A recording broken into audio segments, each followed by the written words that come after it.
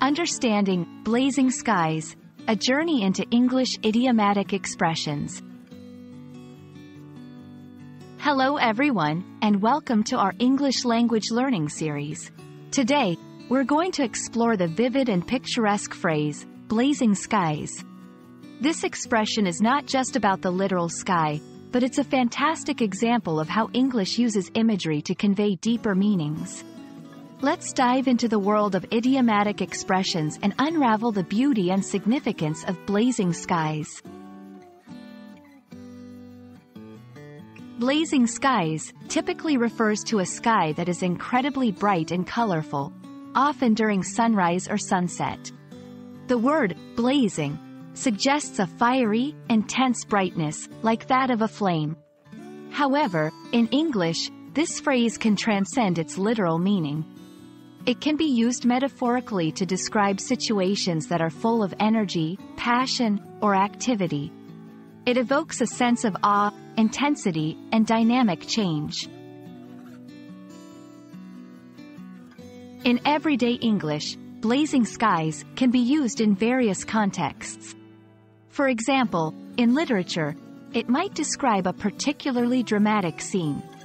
In conversation, someone might say, the atmosphere at the festival was like blazing skies, suggesting a vibrant, lively, and intense environment. It's a phrase that captures attention and paints a vivid picture in the listener's mind. 1. As the sun set, the blazing skies turned the city into a canvas of reds and oranges. 2. The energy in the room was like blazing skies, full of excitement and anticipation. 3. Her passion for art was evident, always painting her emotions in blazing skies. These examples show how the phrase can be adapted to various contexts, enhancing the descriptive quality of the language.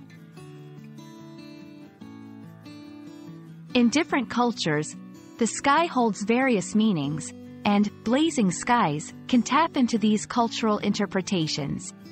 In some cultures, it might symbolize transformation or new beginnings, as seen in dawn or dusk. The phrase can also vary slightly, like sky ablaze or fiery sky, offering similar imagery and intensity. Thank you for joining us in exploring the phrase blazing skies.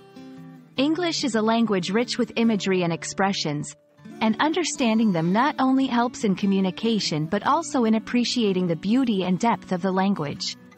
We hope this video has illuminated this vivid expression for you. Keep practicing, and soon you'll be using English expressions like a native speaker.